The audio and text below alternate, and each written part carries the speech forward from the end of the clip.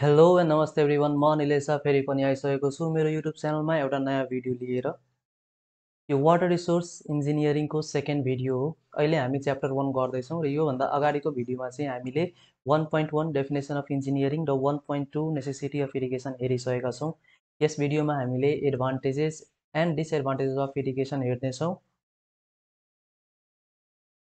हामीसँग छ one point three advantages and disadvantages of irrigation सबभन्दा पहिले एडभान्टेजेसतिर हेरौँ। सो हामीलाई केही केही पोइन्ट छ त्यो पोइन्टहरू हामीले याद राखी चाहिँ अब यही कुरा लेख्नुपर्छ भन्ने चाहिँ छैन हामीले बुझेर आफैले पनि लेख्न सक्छौँ।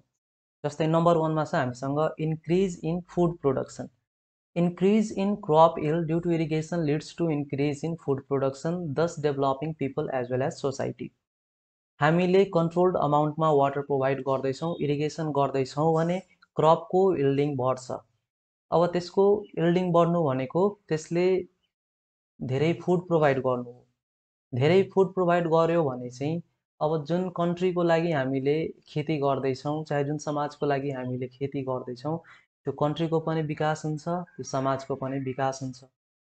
Number two protection against drought drought भनेको सुखा the provision of adequate irrigation facilities in any region ensures protection against failure of crops from famine or droughts अब चाहिएको मात्रामा हामीले कन्ट्रोल्ड अमाउन्टमा पानी प्रोभाइड गऱ्यो भने कुनै पनि क्रप्स कुनै पनि प्लान्ट चाहिँ सुकेर मर्दैन। फेमाइन अर ड्रट भनेको जस्तै सुका पर्यो त्यहाँ पानी परेन घाम घाम मात्रै छ र सुकेर सबै मऱ्यो क्या सबै क्रप्सहरू मऱ्यो अब त्यो हुनबाट बचाउनलाई हामीले के गर्नुपर्छ त? इरिगेसन गर्नुपर्छ। रिभेन्यू जेनेरेसन रिभेन्यू भनेको अब ट्याक्स जेनेरेसन भनौँ। When regular supply of water is assured for irrigation the cultivators can grow short and superior or high priced crops like cash crops in place of inferior or low priced crops thus revenue is generated अब वाटरको supply regular भयो र चाहिएको अमाउन्टमा भयो that is required अमाउन्टमा भयो भने जति पनि खेती गर्ने मान्छेहरू हुन्छन् उनीहरूले चाहिँ के गर्न सक्छन् त? हाई प्राइस्ड क्रप्स भनेको जसको दाम अलिक बेसी हुन्छ जसलाई हामीले क्यास क्रप्स भन्छौँ। हो त्यो क्यास क्रप्सहरू उनीहरू जन्माउन सक्छन्।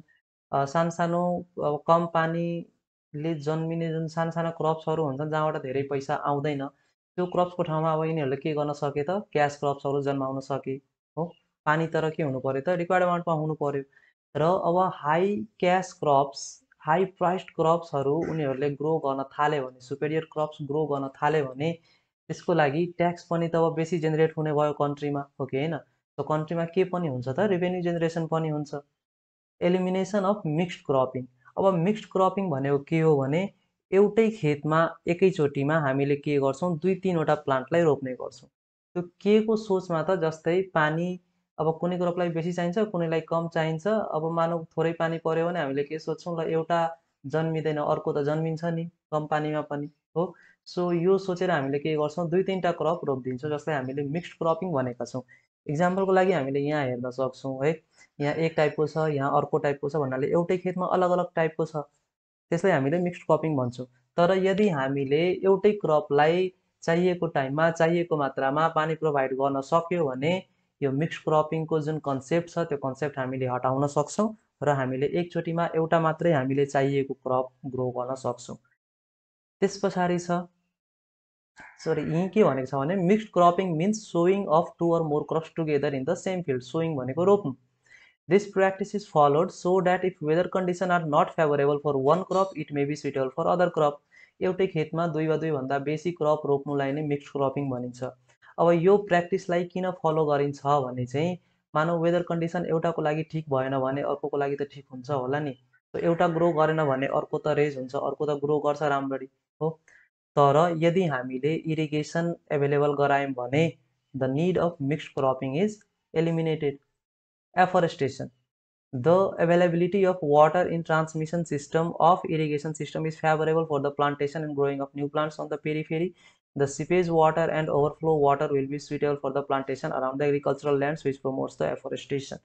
मानौ कुनै एरियामा हामीले इरिगेसन गर्दैछौँ भने चाहे कुनै क्यानलमा पानी फ्लो हुँदैछ भने त्यसको वरिपरि फेरि फेरि भनेको त्यसको वरिपरि त्यहाँको कन्डिसन एफोरेस्टेसनको लागि फेभरेबल हुन्छ एफोरेस्टेसन भनेको रुख बिरुवा रोप्ने काम हो त्यहाँबाट आएको पानी सिपेज भएको पानी त्यहाँबाट ओभरफ्लो भएको पानी यो सबै पानीले के गर्छ भने एफोरेस्टेसनमा हेल्प गर्छ रुख बिरुवाहरू रोप्नमा हेल्प गर्छ। त्यस पछाडि छ generation of hydro electric power. Canal fall may sometime be utilise to generate electricity. अब धेरै माथिबाट क्यानल आउँदैछ भने है क्यानल स्लोपमा छ भने त्यहाँ पानीको भेलोसिटी पनि बेसी हुन्छ। पानीको भेलोसिटी बेसी छ भने हामीले के गर्न सक्छौँ त्यसलाई हाइड्रो इलेक्ट्रिसिटी जेनेरेसनको लागि युज गर्न सक्छौँ। जस्तै यहाँबाट मेन क्यानल छ यहाँबाट बाइपास क्यानल छ। यहाँ पानी फ्लो भएर तलतिर आयो यहाँ पावर हाउस छ टर्बाइन हुन्छ। त्यसले टर्बाइनलाई घुमाउँछ टर्बाइनलाई घुमाएर यहाँ के हुन्छ त? इलेक्ट्रिसिटी जेनेरेट हुन्छ। यहाँ हामीले हेर्न सक्छौँ एउटा यहाँ पनि दिएको छ। यहाँबाट पानी आयो यहाँ पावर हाउस छ यहाँ अब टर्बाइन हुन्छ जेनेरेटर हुन्छ। टर्बाइनलाई घुमायो इलेक्ट्रिसिटी जेनेरेट भयो। यो हो टेलरेस क्यानल यहाँबाट पानी फेरि क्यानलमा जान्छ उतातिर। त्यस पछाडि इनल्यान्ड नेभिगेसन इनल्यान्ड नेभिगेसन भनेको जहाजहरू चलाउनु पानी जहाज। It is possible that some large irrigation canals may be develop for navigation purpose अब कुनै ठुलो क्यानल छ भने त्यसलाई हामीले नेभिगेसन पर्पजको लागि पनि युज गर्न सक्छौँ एक ठाउँबाट अर्को ठाउँ जानलाई। जस्तै यहाँ हेरौँ यो ठुलो क्यानलमा हामीले के गर्दैछौँ त? जहाज पनि चलाउँदैछौँ एक ठाउँबाट अर्को ठाउँमा। नेभिगेसन भनेको यही हो।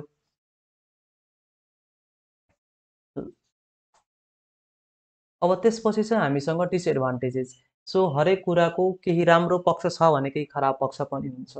जस्तै इरिगेसनको पनि केही केही डिसएडभान्टेजेस छन्। Over irrigation may lead to water logging and may reduce crop yield अब हामीले धेरै पानी दियौँ भने धेरै इरिगेसन गऱ्यौँ भने के हुन्छ त? त्यो एरियामा पानी जम्मा हुन्छ। अब चाहिने जति पानी भित्र छिर्यो र एक्स्ट्रा पानी सबै के हुन्छ त? सर्फेसमै बसिरहन्छ जसलाई हामीले वाटर लक्ड एरिया भन्छौँ। र त्यसले के गर्छ त क्रपको इल्डिङलाई घटाउँछ food production घटाउँछ। The surplus water from the agricultural land may cause water pollution at the nearby source. अब कुनै खेतमा धेरै पानी छ त्यो पानीहरू बगेर कहाँ कता जान्छ त? त्यही साइड साइडको ग्राउन्डमा जान्छ नि त साइडको एरियामा जान्छ। अब त्यो साइडको एरियामा बगेर गयो भने त्यो एरियामा चाहिँ वाटर पल्युसन हुने चान्स बढ्छ हो। सो हामीले धेरै इरिगेसन गऱ्यौँ र त्यहाँ सरप्लस वाटर छ। सरप्लस भनेको बढी भएको वाटर अब जति पानी चाहिएको थियो त्यति त युज भयो तर जति अब बढी छ त्यो पानी चाहिँ अब कता जान्छ त? त्यही साइडको एरियामा जान्छ। त्यसले चाहिँ के गर्न सक्छ त? वाटर पल्युसन गर्न सक्छ। Irrigation keeps moisture in the soil because of which it may be the place of mosquitoes breeding and outbreak of different disease like malaria and dengue जस्तै इरिगेसन हामीले गऱ्यो गरेछौँ गऱ्यो गरेछौँ भने त्यसले के गर्छ त? सोइलमा मोइस्चर राखिरहेको छ भन्नाले सोइलमा पानी रहिरहन्छ रहिरहन्छ। अब सोइलमा पानी छ भने त्यो एरिया भिजेको छ भने त्यहाँ मस्किटोहरू आएर बस्न थाल्छन्। उनीहरूले त्यहीँ बच्चा जन्माउने अन्डा जन्माउने काम गर्छन् जसले गर्दा चाहिँ डिफ्रेन्ट डिजिज मलेरिया डेङ्गुहरू फैलिने गर्छन्।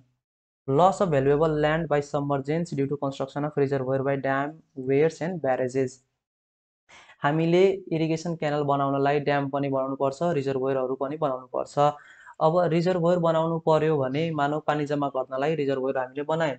र त्यहाँको ल्यान्ड चाहिँ धेरै राम्रो थियो एग्रिकल्चरको लागि। अब त्यो ल्यान्ड त बर्बाद भयो हो? त्यो त पानीले कभर गर्यो त्यहाँको।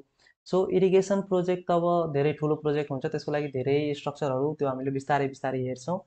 तर यसरी अब रिजर्भर बनाएर हामीले के गर्यौँ त्यो एउटा जुन भ्यालुएबल ल्यान्ड थियो इरिगेसनको लागि त्यो त्यही पानीभित्र डुब्यो समर्जेन्स भनेको डुब्नु। Over irrigation may sometime lead to soil erosion धेरै पानी हामीले प्रोभाइड गऱ्यौँ भने त्यहाँको सोइललाई पनि बगाएर लिएर जान सक्छ। Irrigation projects are complex and expensive they require regular supervision and maintenance अब इरिगेसन प्रोजेक्ट भनेको खालि खेती मात्रै होइन। पानीको सिस्टम पानी अब कसरी हामीले प्रोभाइड गर्छौँ? क्यानल सिस्टम हुन्छ क्यानल नेटवर्क हुन्छ ड्यामहरू बनाउनु पऱ्यो धेरै ठुल्ठुलो स्ट्रक्चरहरू बनाउनु पर्छ। सो त्यो सबै के छ त? कम्प्लेक्स पनि छ र महँगो पनि छ। उनीहरूलाई रेगुलर सुपरभिजन पनि चाहिन्छ मेन्टेनेन्स पनि चाहिन्छ over irrigation may also lead to loss in soil fertility धेरै पानी हामीले प्रोभाइड गऱ्यौँ भने सोइलको जुन जन्माउने शक्ति छ त्यो ग्रो गर्ने शक्ति छ क्रपहरूको त्यो शक्ति पनि के गर्न त्यो लस हुनसक्छ हराउन सक्छ। अब यस भिडियोमा हामीले यति नै हेरौँ। नेक्स्ट भिडियोमा हामीले जिसिए सिसिए एन्ड एनसिएको बारेमा हेर्दैछौँ। सो हेर्दै गर्नुहोस् निलेसा लाइफ थ्याङ्क यू